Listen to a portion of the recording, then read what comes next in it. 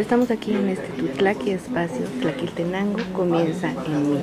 Estamos en la oficina del presidente municipal, Enrique Alonso Plasencia, donde vemos que tiene a varias gente atendiendo.